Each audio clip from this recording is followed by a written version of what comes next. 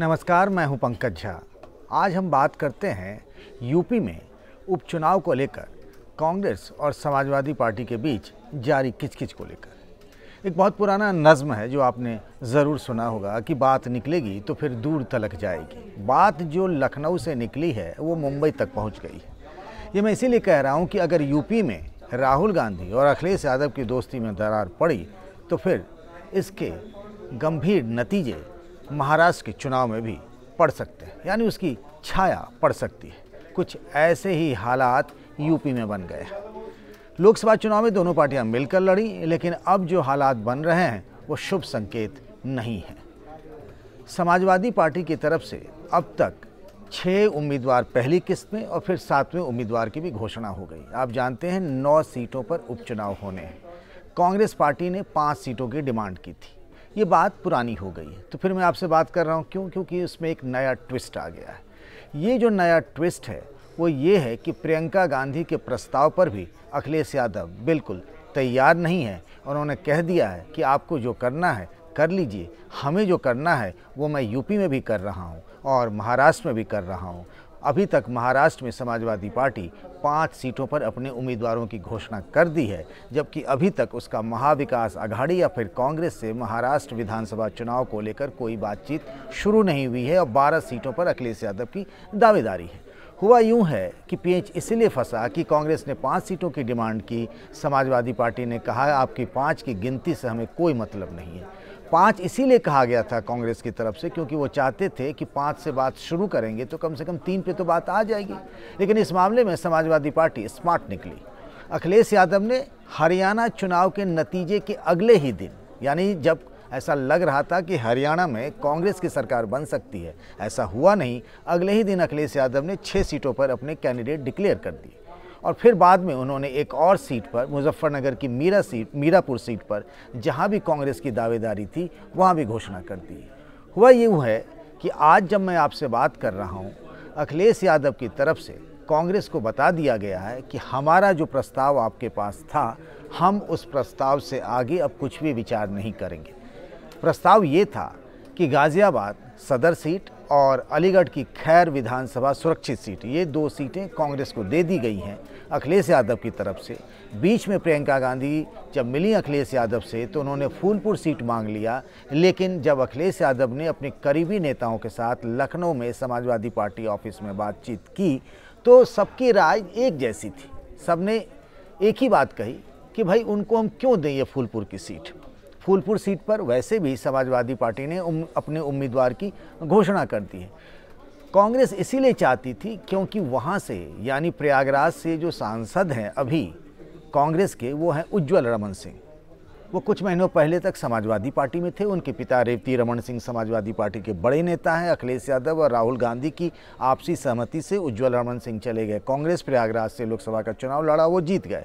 कांग्रेस को लगता है कि उज्ज्वल रमन के आने से हमें वहाँ ताकत मिली है।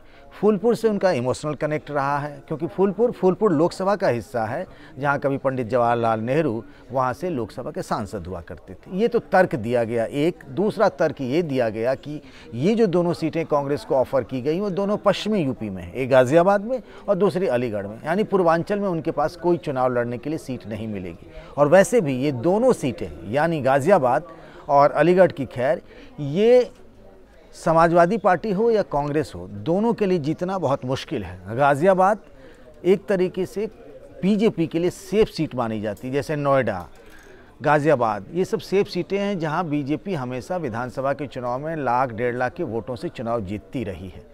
उन जगहों पे कांग्रेस को सीट मिल रही है लड़ने के लिए। तो कांग्रेस को लगता है कि हम दो लड़ भी लेंगे तो मिलेगा क्या? कांग्रेस अपने लिए एक ऐसी सीट चाहती थी जहाँ वो बीजेपी को हरा सके। उसके लिए फूलपुर मुफीद सीट लग रही थी। प्रियंका गांधी चाहती थी कि फूलपुर सीट उनके पास आ जाए। अखिलेश यादव इसके लिए तैयार नहीं हुए। आज इस पूरे किचकिच में एक तरह से कांग्रेस की तरफ़ से एक स्टोरी प्लांट की गई। मीडिया के कुछ हिस्सों में अजय राय के हवाले से, कांग्रेस के नेताओं के हवाले से बात कही गई कि उनकी बात नहीं मानी गई। यानी कांग्रेस की बात नहीं मानी गई ये कि अगर उनको तीसरी सीट फूलपुर नहीं मिली तो वो किसी भी सीट पर चुनाव नहीं लड़ेंगे।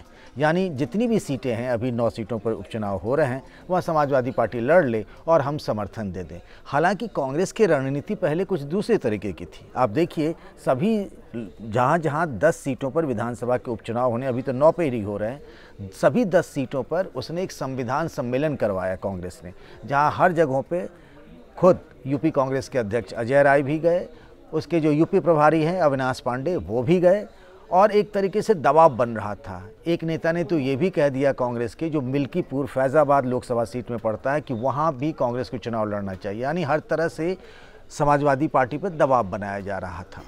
ये जो कहा जाता है कांग्रेस के बारे में, कि जहाँ वो मज़बूत होती है कांग्रेस पार्टी, वहाँ अपने अलायंस पार्टनर को वो बहुत कम देती है। और जहाँ कांग्रेस पार्टी कमज़ोर होती है, वहाँ वो ज़्यादा मांगती है। ये मैं नहीं कह रहा हूँ। ये बात अखिलेश यादव और उनके करीबी दोस्तों का कहना है। अखिलेश यादव आज अपने भतीजे तेज प्रताप यादव का नामांकन कराने गए थे करहल। वहाँ उपचुनाव हो रहा है और अखिलेश यादव यहीं से विधायक हुआ करते थे, फिर वो कन्नौज से लोकसभा के सांसद बन गए। वहाँ से जो जानकारी मिली है, वहाँ जो उन्होंने अपने करीबी नेताओं से बातचीत की है, उन्होंने एक तरीके से मन बना लिया है कि भैया, अब यूपी में कोई आगे बातचीत नहीं होगी। केंद्रीय कांग्रेस के साथ दिक्कत ये भी है कि जो लोग बातचीत कर रहे हैं समाजवादी पार्टी के साथ, वो चाहे अजय राय हो या अविनाश पांडे, वो बातचीत तो कर लेते हैं। लेकिन फैसला लेने की बारी आती है तो वो फैसला राहुल गांधी और प्रियंका गांधी को करना होता है।